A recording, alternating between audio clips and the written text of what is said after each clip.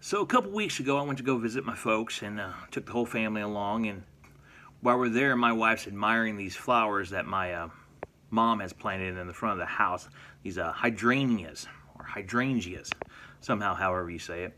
So she's come to the conclusion that she wants one. So the other day that we're going around looking in stores trying to find one, trying to find one that you ain't gotta use seeds to grow.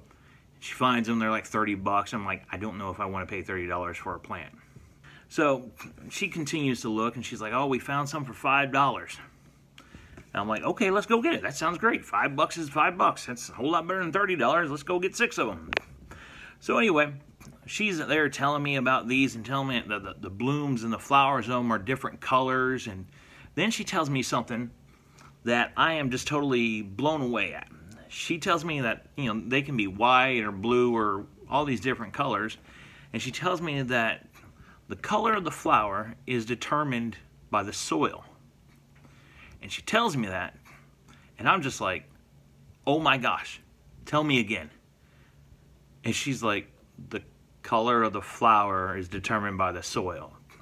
And i'm like oh oh oh I'm, I'm, I'm getting excited she's telling me this and she's looking at me like i'm crazy and I was like, tell me again. She says, the color of the flower is determined by the soil. And I get ex excited again. And I, I, say, tell it to me one more time. By this time, she's finally realized what's going on in my head. And she tells me, I want to tell you what happened, what went on in my head. The color of the flower, the color of these hydrangeas, is determined by the soil. So you can have the same seed you can put that same seed anywhere you want, but it's going to come up different colors depending on what kind of soil you put it in. Matthew 13 talks about the same thing.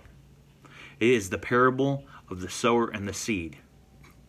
Jesus, God, the preacher, sows the seed, the same exact seed, to everyone who's listening in church.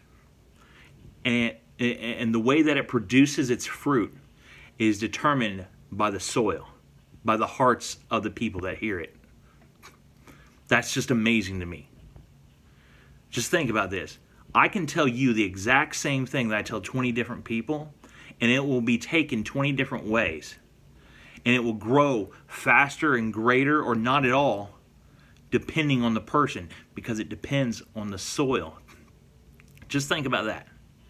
Just meditate on that. You know, the Bible says that we're supposed to meditate on the Word. So you meditate on that, that the Word of God can produce in you just as much as it can a preacher or a minister or anybody else, an adult, a kid, it doesn't matter.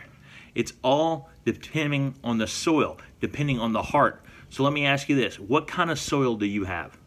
What kind of heart do you have? Think about that. When you read your Bible, when you study your Bible, the same person can be reading the exact same thing and can get far greater or far less, depending on how they receive it in their heart, depending on what their soil's like. So, think on that and ask yourself when you go to read, when you go to study, you pray beforehand and you ask, Lord, make my soil good soil. Make my heart receptive to your word. And you can see what kind of flowers bloom, what colors they are, and what kind of harvest that you have. I'll see you next time. Bye.